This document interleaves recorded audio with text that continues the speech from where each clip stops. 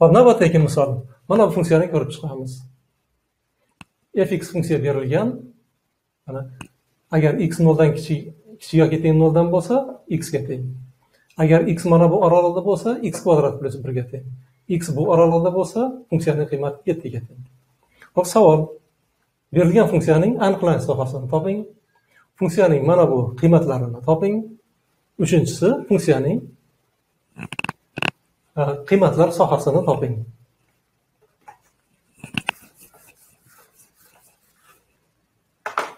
Hop birinchisi funksiyaning aniqlanish sohasini topamiz ya'ni df ni topamiz. Aniqlanish sohasi. Df mana funksiya bir necha bo'laklardan iborat ekan. Birinchi bo'lakda mos keluvchi x ni qiymatlari minus cheksizdan nolgacha. Nol tegishli. Keyingi oraliq noldan ikkigacha.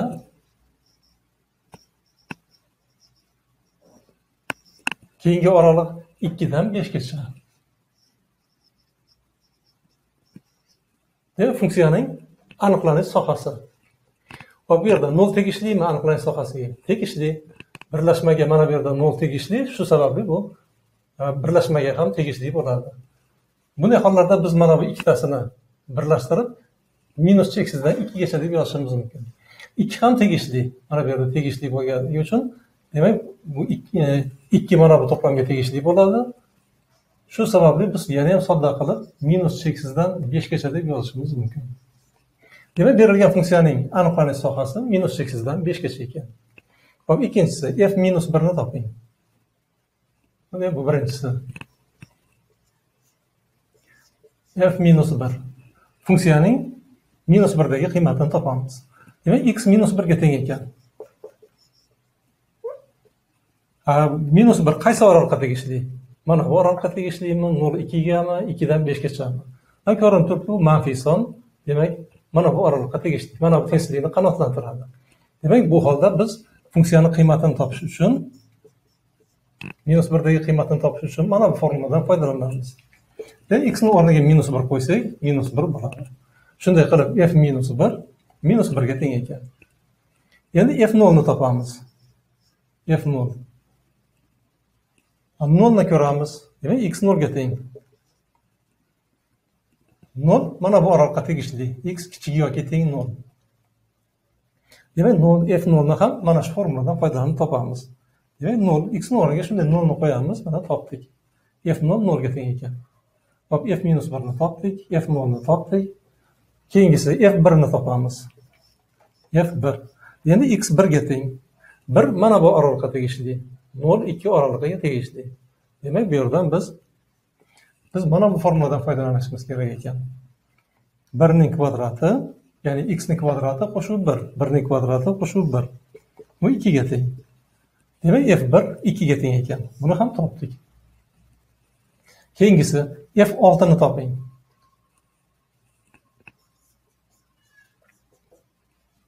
F oltini topamiz. Hop f olti olti qaysi bu yerda x oltiga teng ekan. Olti qaysi oraliqqa tegishli? Tegishli emas bu oraliqqa ham tegishli emas bu oraliqqa ham tegishli emas. Bu degani f olti aniqlanmagan.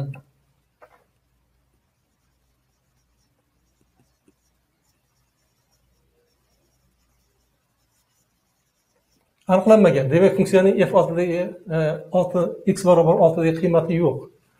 Demak olti bu funksiyani aniqlanish sohasiga tegishli emas. Demak funksiyani qiymati yo'q. Navbatdagisi uchinchisi funksiyaning qiymatlari sohasini topamiz.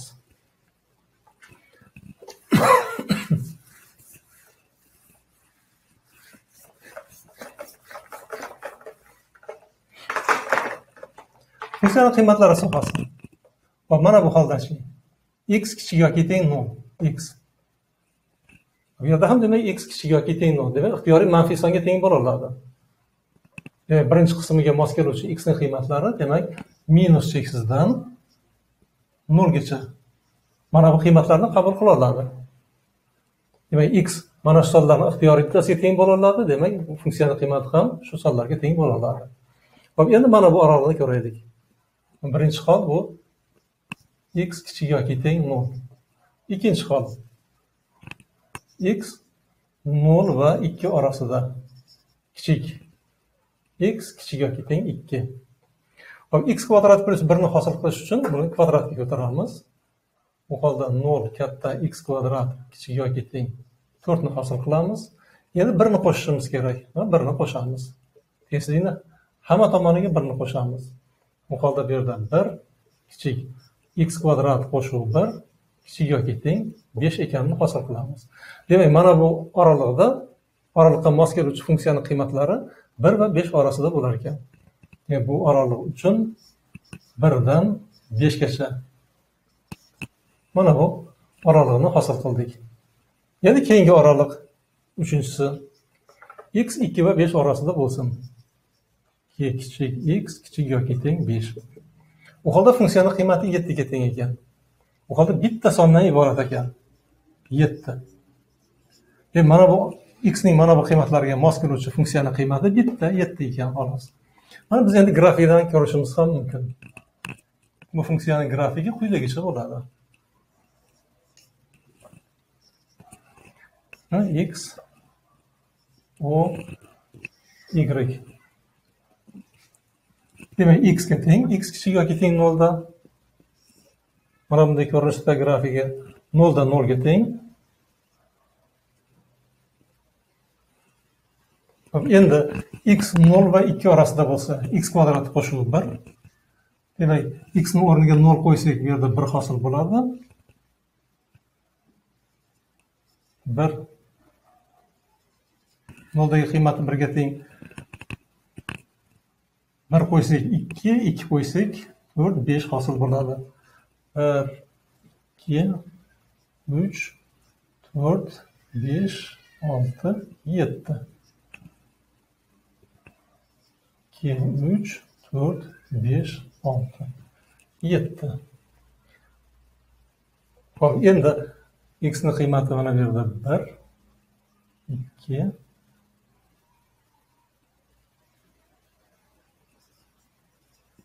ikki birdagi qiymati ikkiga teng bo'lyapti.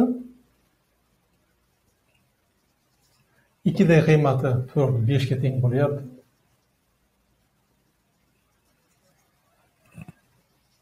Demak funksiyani grafigi mana bunday ko'rinishda. Nol ikki oralig'ida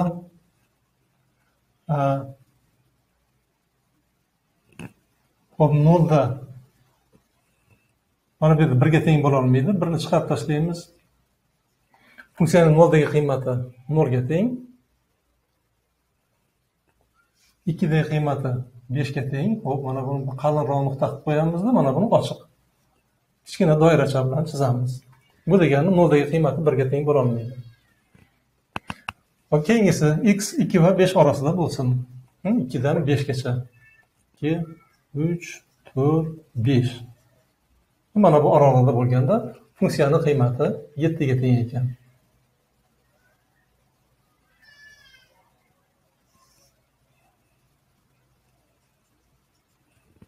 Deb bu yerda mana bunday kesmadan iborat ekan.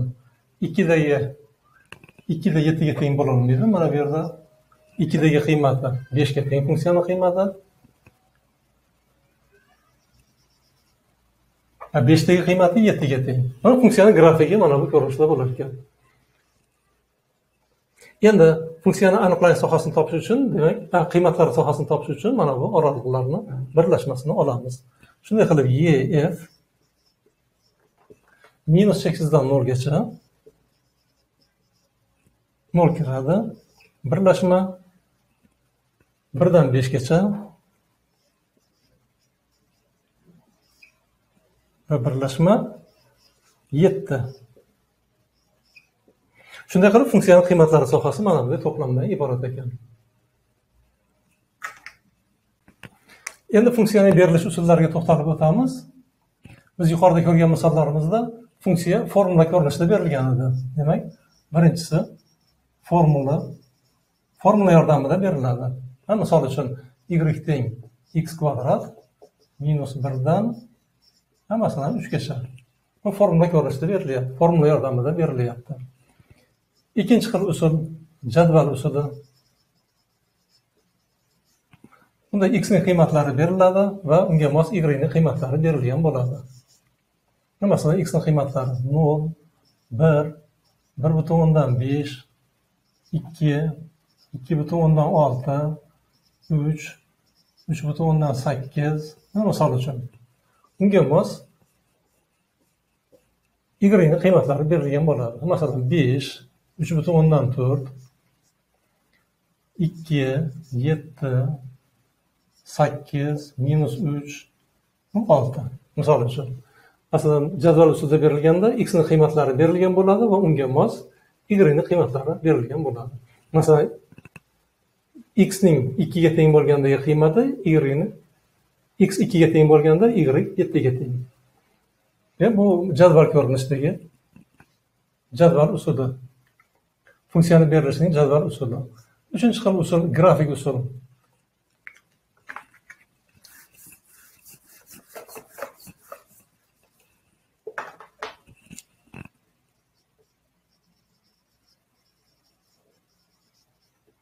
Uchinchi xil usul grafik usul.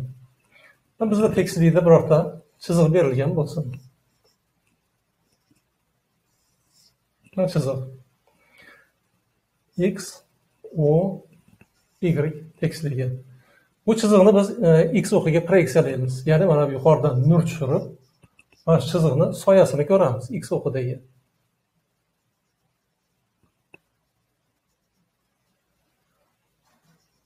kelinglar bu mana shu soyasi a b kesmadan iborat bo'lsin soya a kesmadan iborat bo'lsin. Bundan tashqari ab oralig'idan olingan har bir x nuqtadan o'tkazilgan vertikal to'g'ri chiziq berilgan grafikni faqat bitta nuqtada kesib o'tsin. Mana masalan mana bu yerdan x ni olsak bundan o'tkazilgan mana vertikal to'g'ri chiziq o'tkazdik uni faqat bitta nuqtada kesib o'tyapti.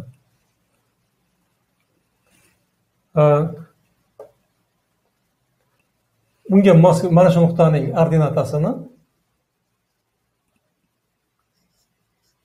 fx deb olamiz. Demak x ning har bitta qiymatiga e, y ni bitta qiymati mos kelyapti fx mos kelyapti bu degani bizga y teng fx funksiya berilganini bildiradi. Hamma to'g'ri hamma chiziq ham tekislikda e, funksiyani grafigini berolmaydi. Mana masalan quyidagi chiziqni ko'raylik. Agar mana bunday vertikal to'g'ri chiziqni o'tkazadigan bo'lsak x nuqta bo'lsin. Bu vertikal to'g'ri chiziq berilgan chiziqni ikkita nuqtada kesib o'tyapti. Mana bu nuqtani ordinatasi y bir bo'lsin. Bu nuqtani ordinatasi y ikki bo'lsin. Demak x nuqtaga ikkita ordinata mos kelyapti. Bu degani bu chiziq funksiyani ifodalamaydi demak funksiyani ifodalash uchun hech bir vertikal to'g'ri chiziq bu chiziqni ikkita nuqtada kesib o'tmasligi kerak. Ikkita yoki undan ko'p nuqtada kesib o'tmasligi kerak. Faqat bitta nuqtada yoki mana masalan mana bu yerdan o'tkaziladigan bo'lsa hech bir nuqtada kesib o'tmasligi kerak. Yoki kesib o'tsa faqat bitta nuqtada yoki kesib o'tmasligi kerak. Ikkita nuqtada yoki uchta nuqtada ikki yoki undan ko'p nuqtada kesib o'tsa u bu chiziq birorta funksiyani bermaydi. Hop bu yerda yana bitta narsaga to'xtalib o'tamiz. Funksiyani qiymatlari sohasi nimadan iborat bo'ladi? Agar funksiya grafik usulda berilgan bo'lsa demak buni grafikni x o'qiga proyeksiyasi berilgan funksiyani aniqlanish sohasi bo'ladi. Df mana biz qarayotgan holda a b kesmadan iborat. Grafikni y o'qiga proyeksiyasi